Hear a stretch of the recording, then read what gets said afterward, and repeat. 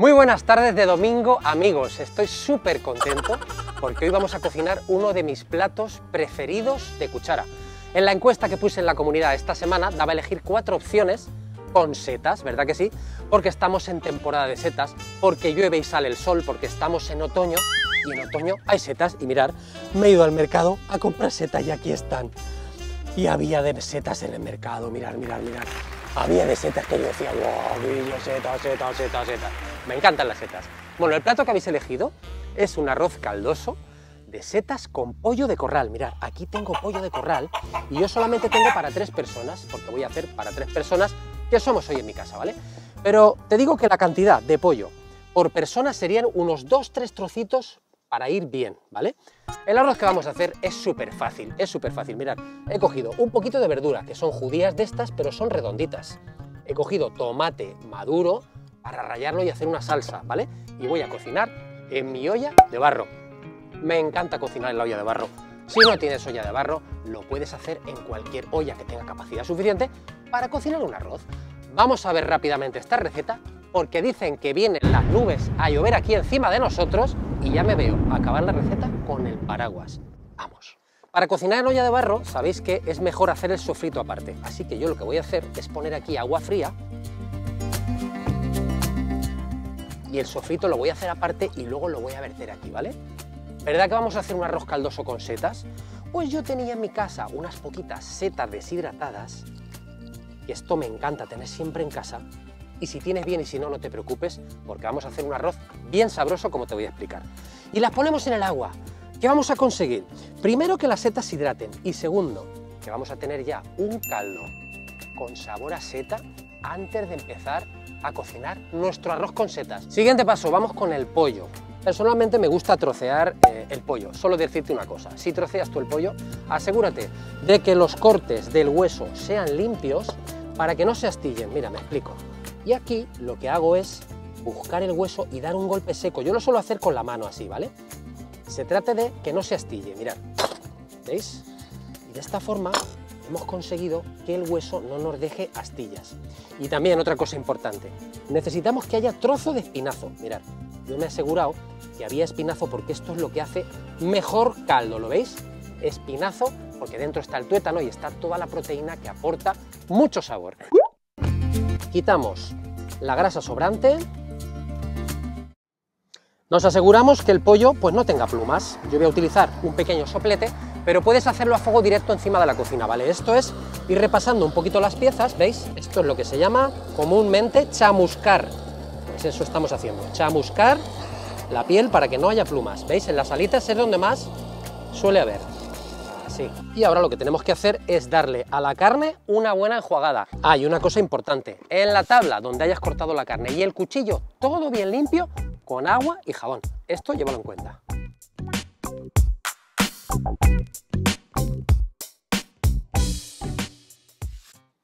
Siguiente paso, vamos a salpimentar la carne porque la vamos a sofreír, así que ya vamos calentando muy bien una sartén. Un poquito de sal, un poquito de pimienta y que lleve por todo, ¿vale? Esto es importante, porque cuando te comes un trozo de pollo, luego en el arroz, si le falta sal, dices, ¡ay, me cachis en la mar! Estos detalles hay que llevar en cuenta. Un buen chorro de aceite de oliva donde vamos a freír.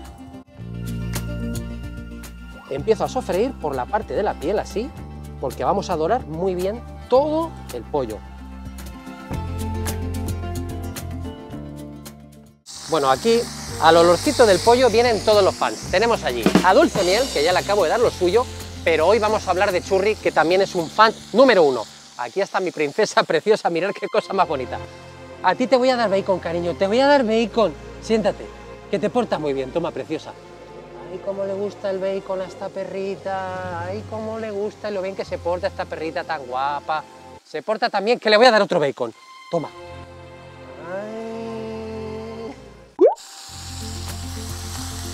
Bueno, es súper importante que la carne esté bien, bien, bien dorada y que suelte los jugos para que caramelicen aquí, porque aquí está el secreto de nuestro caldo sabroso potente con sabor a pollo, ¿vale? Mientras se fríe la carne vamos a picar un dientecito de ajo.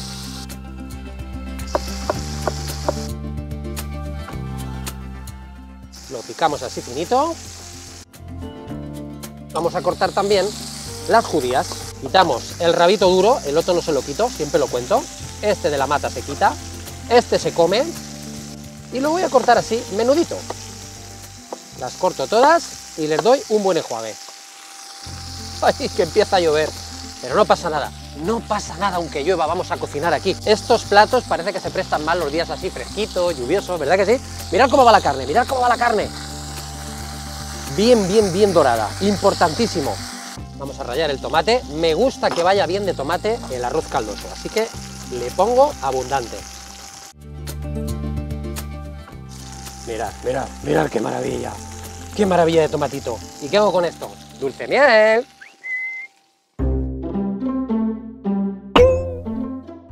Toma, caballito bueno, caballito bueno. ¡Ay, qué rico están las pieles del tomate! Ya tengo casi la carne dorada y fijaros lo que voy a hacer. Voy a poner los champiñones pelados, que siempre lo cuento, que no me gusta lavarlos, porque absorben agua. Y vamos a hacer una cosa, este champiñón va a ir en el sofrito, va a ser la única seta que va a ir en el sofrito. Entonces lo voy a cortar bien pequeño, el champiñón es una seta que deja muchísimo sabor, por eso lo vamos a poner en el sofrito, lleva en cuenta este truquito. Cortar así bien finito. Vamos a sacar ya el pollo, está caramelizado y nos va a dejar todos los jugos ahí en el fondo de la sartén, ¿lo veis? Mirad, ¿veis esto? Esto es maravilloso. ¡Hala! El pollo directamente ya a la olla, fijaros. Todos los juguitos y todo aquí. La olla, por supuesto, está todavía en agua fría, ¿eh? Todo esto está en agua fría hasta que tengamos dentro todo para empezar a cocinar. Siguiente paso, ponemos a cocinar la verdura. Lo primero, el ajito. Y muy pendientes de que no se nos queme, ¿vale? Mirar, así, que dore un poco. Antes de que se nos queme el ajo, pues echamos las judías. ¿Lo veis? Y vamos también con los champis. Ahí estamos. Le echamos un poquito de sal y ala, a sofreír. Han pasado dos minutitos y ahora vamos a poner el pimentón.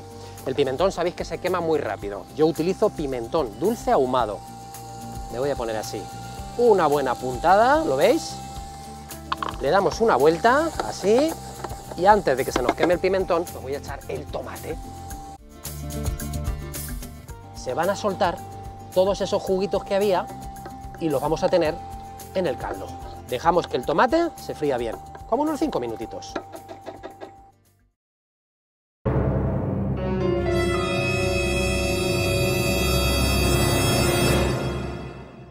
Se ha consumido el agua y ya tenemos aquí, esto huele, esto huele estupendo. Lo metemos aquí.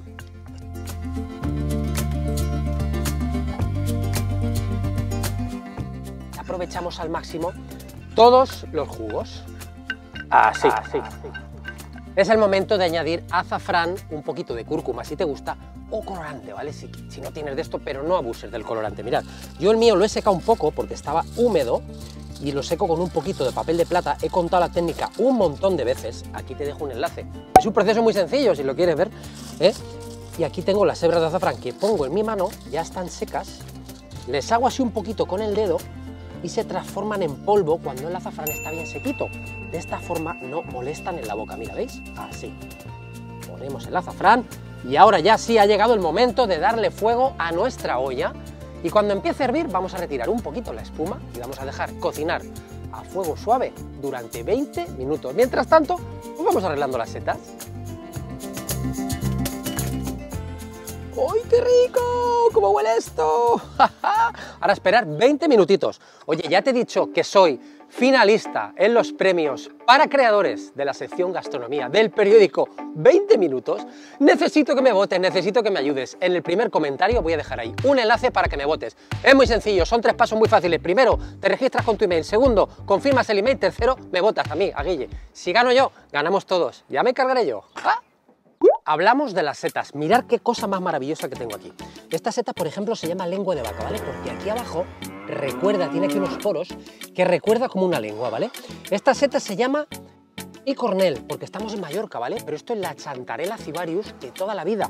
¿Cómo se llama en tu país? ¿Hay esta seta en tu país? Mírala muy bien. Y Cornel, déjamelo en los comentarios, ¿vale?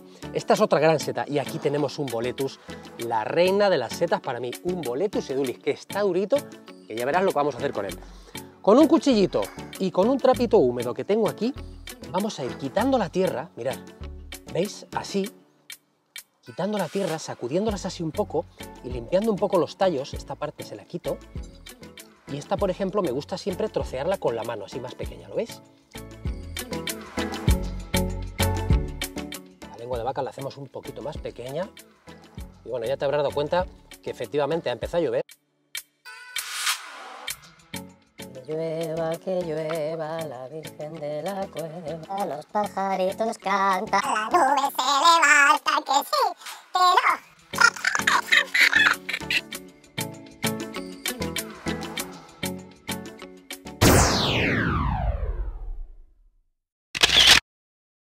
El boletus con mucho cuidadito y quitando lo menos posible, le voy a raspar así la tierra.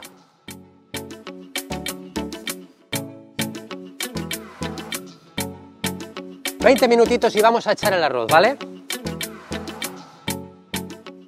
A mí me gusta poner 60 gramos de arroz por persona, ¿vale? Lo vamos a remover así un poco. Cocinamos el arroz a fuego medio 10 minutitos, echamos las setas y luego le damos otros 5 minutitos más, más el reposo porque el barro aguanta un montón la temperatura, tiempo de cocción total 18-20 minutos, ¿vale? 10 minutos y vamos con las setas para adentro, mirar.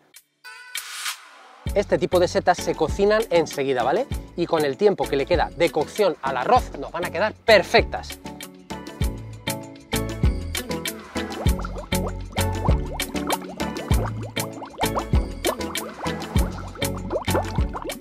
Y cinco minutitos de cocción que llevan las setas, paro esto. Mira, mira, mira, qué cosa más maravillosa. Me encanta este borboteo, este chup chup, es que me flipa. Voy a probar que está todo bien, el fuego ya está apagado.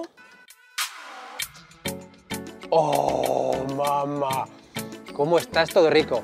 Cinco minutitos de reposo que le vamos a dejar ahí, ¿vale? Y mientras tanto alguno estará diciendo, al guille se le ha olvidado una seta que está aquí, que está aquí el boletus, Mirad, corto el boletus en laminitas, que está súper sanote. Mirad qué tronco, esto no es vegetal, esto parece carne cuando lo comes. Mirad.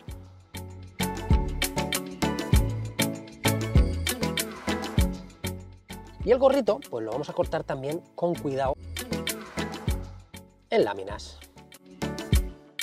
Vale, se acabó el reposo, vamos a servir. Vamos a servir esta joya.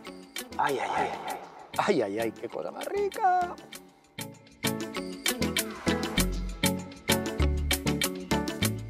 Ay, se me hace la boca agua. No lo puedo evitar. No lo puedo evitar.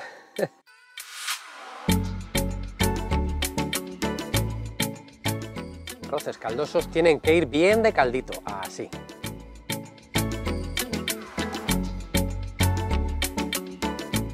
Oh my god. ¡Qué maravilla!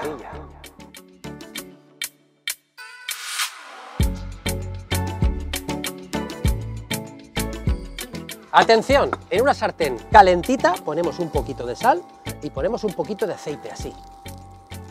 Le vamos a dar un vuelta y vuelta al boletus, mirad.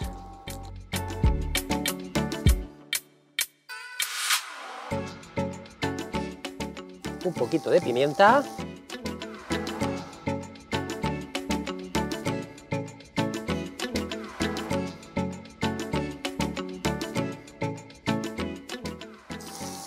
De pimienta por este lado, apagamos el fuego, sabes que esta seta se cocina enseguida y mirad lo que voy a hacer. Vamos a poner un poquito de boletus, así, en cada plato, para terminar. Y así culminamos nuestro arroz caldoso con pollo de corral y setas de temporada.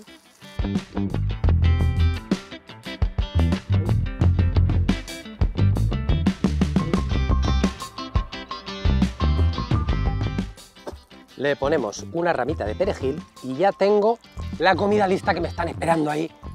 Tranquilos, que ya viene la comida. Mirad. Bueno, ¿qué te ha parecido mi arroz caldoso? Me ha quedado un poquito. Si alguien se quiere apuntar, que venga, que está invitado, ¿vale? Chicos, a la mesa. Es el momento difícil, es el momento fatídico, ni la lluvia nos ha podido parar hoy para preparar este platito de arroz caldoso que los días lluviosos apetece y mucho más. Queridos amigos, nos vemos en el próximo vídeo y ya te adelanto que va a haber más encuestas de estas que decide la gente, porque es que me encanta que decidáis vosotros las recetas, así no tengo yo que pensar.